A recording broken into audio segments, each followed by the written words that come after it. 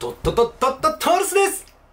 今日ね、あの、アオペラさんが新グループの発表したの。アオペラさんってこれまで、えっと、リルハピとフェイムっていう2つのグループで、アカペラグループでこの物語が紡がれていったんだけど、今日ね、3組目のグループが発表されたわけ。でその3組目のグループは VadLipっていうグループ名なんだけど、この VadLipがマジでやばいのよ。あのね、ロックのアカペラをやってて、で、あのね、今日グループ名、えっ、と、グループが発表されたのと、グループの詳細が発表されたのと、あと1個目のカバー動画出たわけ。で、これがめちゃくちゃいいので、もうマジで聴いてほしい。で俺はね、アカペラアレンジで携わらせてもらったんだけど、ロック調のアカペラになってるの。で、オドと、えー怪物を、あの、アドさんのオドと、夜遊びさんの怪物を、ロックでやってるから、ちょこれね、俺にとってもすごい新しい挑戦だったんだけど、もうマジでキャストの皆さんの演奏力が高すぎるから見てほしい。めちゃくちゃいいよ。なんかね、新しいアカペラだなって思うはず。あの、アカペラ経験者じゃない方からしたら、うわ、すげえアカペラだってなるし、アカペラやったことあるから、人からしても、したら、このアカペラすげえ新しいなってなると思う。で、俺としても新しいアカペラを提案できたと思う。だからちょっと本当に聞いてほしいなと思います。で、このバッドリップがどういうグループかっていう説明今からするので、ちょっとスマホ見ます。見ますね。あのね、あの、豪華キャストなんですよ、とにかく。キャストが豪華だし、演奏がね、とにかくすごいいいですよ。えっとね、連雀高校っていう、えーめちゃくちゃアカペラの強豪校からの精鋭6人組っていう設定になってて、でキャストが、えー内田雄馬さん、小野賢章さん、花江夏樹さん、八代拓さん、増元拓也さん、武内駿輔さんの6人組なんですよ。でね、どういうグループかっていうと、えっ、と、そうだな、例えると、えっと、リルハピは5人組で、えっと、パーカッションなしで、ボイスパーカッションなしで、爽やかなこう J-POP をやってるグループ。で、フェイムはちょっと大人で、ちょっとブラックでワイルドな感じで、R&B をやってるアカペラグループ。で、今回のバッドリップは、まだ詳細わかんないんだけど、まあ、1個目に出た曲はロックだから、多分ロックなグループなんだと思うんだよね。で、違いは、えっと、ヒューマンビートボクサーがいるの。ヒューマンビートボックスやってて。だから、ボイスパーカッションなし、ボイスパーカッションあり、ヒューマンビートボックスっていうこの3つのグループに分かれてんだけど、このヒューマンビートボックスやってる武内さんめちゃくちゃうまい。本当にすごいと。竹内さんってご自身でアーティスト活動とか、えっと、作曲、制作もやられてる方で、で、俺竹内さんのビートボックス見たことあったんだけど、もうね、本当に上手。すごい。普通にビートボクサー界でもう全然もっとなんか注目を浴びていい浴びてないのがおかしいぐらいの存在だと思うんですけどすごいですね。本当にすごかった。もう演奏もう今回ねレコーディングデータ来てわーってなりました。まあいつもいつもわーってなるんだけどね。今回新しいグループだったからどういう感じの仕上がりになるんだろうって思って来た時にいやいやいやすごいなって思いましたね。本当に。青ペラの皆さんって本当に皆さんの歌がなんか声がやっぱいいですよね。なんかアカペラって声だけで作る音楽じゃないですか。だから声の魅力がそのままその音楽の魅力に直結すると思うんですけどまあどんな音楽でもそうだと思うんですけど。でもアカペラって特に声しか使わない音楽なんで。声優さんがアカペラをやるっていうコンセプトがマジ勝ちだなって思ったし最初に聞いた時。いや確かにそうだよなと。声のプロである声優さんがアカペラやったらめっちゃ強いよなって思ってたんですけど。いや今回も衝撃でしたね。いや本当に。なんでちょっともう本当に聞いてほしいんですけれどもあのねうーんあのねあの今日のねあのイベントにね行かせてもらってあの青様に行かせてもらってでそこでね声優さんがこういろんな話をしてくださったの。ですごい嬉しかったのがあの今回のバッドリップの、えーお三方バッドリップから三お三方が来てくださったんだけどそのお三方はアカペラ特にねあの小野さん小野賢章さんがあの青ペラの1個目の動画 j p o p のカバー動画あったでしょ？あれを見てあのすごい羨ましかったんだと。で自分もやってみたいんだって思ってくださってたらしくてその話を花江さんにされてたらしいよね。花江さんに「これすごくない?」みたいな話をされてたってくださったみたいで。だから小野さんはものすごいアカペラに前向きだし花江さんもこういう新しい取り組みにできて嬉しいです。って言ってくださってねもう皆さんね声をそれって言ってたのがねあの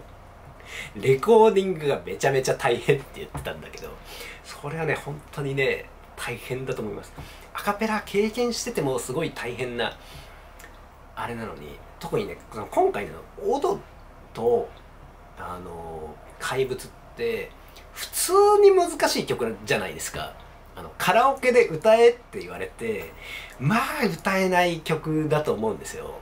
両方ともめちゃくちゃこう何て言うんですかねノリも大事だし音程の飛びもすごいあるしこれ難しいのがさらに、まあ、今回ロックアレンジをしてでなんかちょっとテンポも上げちゃったりしていきなりそんな難しい曲さらに難しくしちゃったのは俺の責任なんですけど もうとにかくレコーディングでめっちゃ苦労されたっていう話を聞いていやそうだよなと思って。けどすごい難しかったけどすごいこうなんか楽しかったですって言ってくださったりとかあとやっぱその完成されアカペラってあのメインの人はこう分かりやすいじゃないですか。まあ願う未来に何度でもずっとはなんかこうレコーディングの手応えとかあると思うんですけどあのコーラスかベースってコーラスとかうーってずっとやっててでベースはブンブンブンブンブンってやっててこれねアカペラやってる人からしたらすごい楽しいプロセスなんですよ。もう俺は最高に幸せなプロセスなんですけどやったことない人からしたら多分手応え全然ないんですよ。レコーディングしてて。うーうー言ってて。これいいのかなみたいな。多 分手応えないまま帰っていくんです。帰っていかれたんだと思うんですけどで完成したものを見た瞬間うわーこうなるんだみたいな。感動が結構ある音楽だと思うんですけどなんかそういう話とかさしてくださってなんか嬉しいなってこうなんか同じアカペラ仲間としてこう心が通じ合ってるというか勝手にそう思いました。あとねリルハピのあのベースの前野さんが言ってくださった言葉ですごい嬉しかったことがあってなんか最初に、えーと、レコーディングをした時はすごい不安だったと。その今言ったような理由でねそのブンブンブンブン言ってて大丈夫なのかなみたいなあったんだけどそのもう活動して1年ぐらい経って今だったら、まあ、自分一人だったらブンブンブンブンだけどもうあとは他の仲間がを信頼してもう自分のパートをやってるって言ってでやっぱり完成したものを聞くとおおいいなってなるってみたいな話をされてたんですね。いやこれ個人的にすごい嬉しくてもうまさにそのアカペラの醍醐味じゃないですか。その他のメンバーを信頼して自分のパートをこう頑張るというか自分のパートは自分なりにこうまあやってで他のパート他のメンバーのまあ小同期同じこと言ってね なんだけどそう。それ本当にアカペラの醍醐味そのものなんですよね。だからこうなんというかアカペラだからこそ分かることみたいなのがこう感覚を共有できてる感じがして個人的にはすごい嬉しかったですね。うん。リルハピのねあの新曲「カレイドスコープ」もすごいいいし。まあ、俺はフェイム推しなんでね特にフェイムの浜野さん推しなんだけどそう浜野さんがさ今日イベントでさ俺のことをちょっと話してくださっててあの今回ねあのバッドリップのそのオドと怪物ってロックアカペラにするためにあのいつもベース1人なんですけどこう今回ベースっぽい動きをする人もう一人追加して2人でこうベースっぽいことやってるんですよ。ロックってベースがいて、まあ、ギターがいてっていうのが一般的だと思うんですけどギターがパワーコードって言ってそのベースの音とその5度上、えーと、ドでいうソだからドとソだけをずっと鳴らすみたいな動きをすることがあるんですね。ロックのまあ一つの演奏のやり方として。でそれを踏襲したんでこうベースとフォースコーラスの一番下のパートがこう動きをこう追従するのがあるんですよ。で八代さんにそのパートをやっていただいたんですね。だから八代さんがレコーディングそれすごい難しいことなんでアカペラやってるマニアックな人からするとすごい楽しいパートなんですよ。もうだから俺がもう青ペラのカバーするんだったらもう俺八代さんのパートめっちゃやりたいんですけどこれがね多分ねアカペラやったことない人からしたらするとわけが分かんないパートなんですよすっごい苦労されたみたいな話を聞いてでメンバーの皆さん同士でこう LINE とかやるらしいんですよね。なんかレコーディングどうどう？みたいな。いや全然わかんない。めっちゃ難しいよみたいなやり取りされてるらしいんですけど。八代さんのとこに苦労されたって聞いてめちゃくちゃ申し訳ないんだって思ったんですけどそこで浜野さんがあの徹さんはすごいあの前浜野さんとトークイベントでご一緒させていただいて浜野さんといろいろお話ししたんだけど徹さんフォースすごいこだわってると。でフォースがこう一番そのなんですか重あの目立つパートではないけど重要なところになっててだからトールスさんのこだわりがフォースに詰まってるんだと思いますよ。だからまあ難しかったと思いますけどすごい重要なパートであのみたいな話をしてくださって浜野さんその通りなんですよ。じゃあもっとなんかすごい嬉しかったっていう。だからね俺の願いとしてはあの八代さん放送の八代さんにアカペラ嫌いにならないでほしいなっていうことをすごい思ってます。ベースの動きに追従するからずっとドゥッドゥッドゥルドゥッドゥッドゥッドゥッドゥッドゥッドゥッドゥッドゥッドゥッドゥドゥドゥドゥドゥドゥっていう動きをしてるんだけど確かに単体でやったら全然面白くないですよこれでも生で歌ったらめっちゃ面白いんで八代さんいつか歌ってほしいなと思いますで全体で聞いてもそんなに音量が聞こえるパートではないんですよねなんだけども八代さんいるのといないのでその全体の音楽としてのその何ていうんですかね音圧だったりとか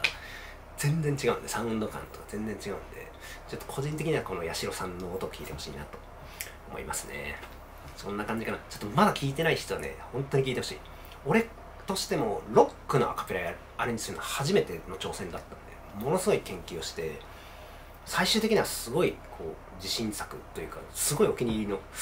一作になったのでアレンジメントとしてね。アレンジメントとしても良かったしキャストの皆さんのもう演奏力もめちゃくちゃ高くてすごいいい作品になった。ベースの松本さんもすごい良かったしな。本当に良かったな。八代さんもね花江さんも小野さんも内田さんももう本当に皆さん上手だし竹内さん本当にそう。竹内さんのリードまたいいんですよね。ちょっとこの辺を語るともうキリがなくなっちゃうんでちょっとこの辺にしておきます。いや本当に楽しみですね。なんで青ペラのこれからのねこれまで2組のこのライバル関係がどうなるかみたいな話だったんだけどそこにもう1組加わってどうなっていくかも楽しみだしあの今日のイベントでもあのおっしゃってたんですけど青ペラってその高校生たちのこの成長の物語でもあるけど僕たちの成長物語でもあるっていう話をされてて本当にでもアカペラってどんどんやればやるほどなんていうんですかねどんどん信頼関係ができていくとかどんどん演奏も良くなっていくし多分あのリルハッピーもフェイムもすごいこれからまたいい曲がどんどん出てくると思うので本当に3組の活躍が楽しみだし、まあ、俺もまた何かしらのね形でお役に立てたら嬉しいしまあ俺も活動を応援していきたいなと思ってます。そんな感じですね。いや本当にね良かったんで聞いてほしいですね。ちょっとなんかあの初めて「Think About You」を聞いた時のような衝撃を受けたんで。まあちょっと聞いてみてください。というわけでまたね。これからも青ペラを応援していこう